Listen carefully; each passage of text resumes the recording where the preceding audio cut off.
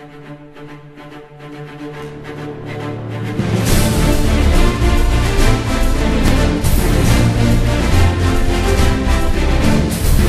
hope I can be I can be champion because uh, uh, marathon fights never know what happened because uh, fighter can get injured and cannot fight anymore. That's so, but it's also it's uh, also about about luck. Also, I want to have a reaction for uh, let's say Daniel. You know, uh, I hope I I can fight with him uh, first fight and I beat him and make him really really pain in his life because he's, he's don't know he's don't know what is pain but after after that fight he's know